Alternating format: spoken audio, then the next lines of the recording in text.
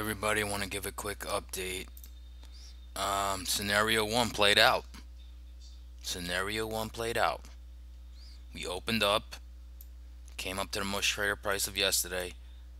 Could not go. Went down.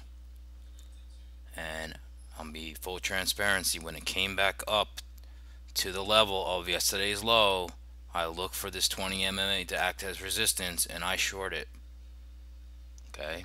Just like the plan I said I was gonna do.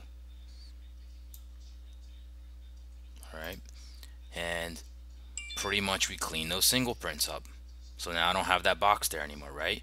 Look at the Nasdaq. The Nasdaq cleaned almost all of them as well. There's still these left. However these coincide with the most trader price of the year so I don't I didn't sure if it would clean the rest of these up but look where the market went it went right to the most trader price of the year and it's bouncing right? Look where the ES went right into the middle of the most trader price of the year and it's bouncing. This level is is a monster. It's not easily cut through. People probably took profits there okay? That was my target. So now we got to sit back and wait and see what the market does this is part of my thesis of why I said this if this goes here it's not going to be easy to cut through. And now we have to wait and see what happens until next week. I'm not saying we can't go through this level but it's going to be very hard okay? So let's just look um, let's look let's see I could even let's see if I have I just want to show you guys on a smaller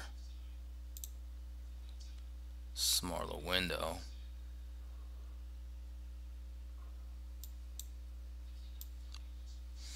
Just trying to see if I can show you on what I saw on my chart, but I'll show you. I can show you on the five minute. That's okay. Give me one second. Sorry about the wait. All right, so you don't see it as great here because this is a five minute because I trade off a three minute basically I waited for this to come right up to here.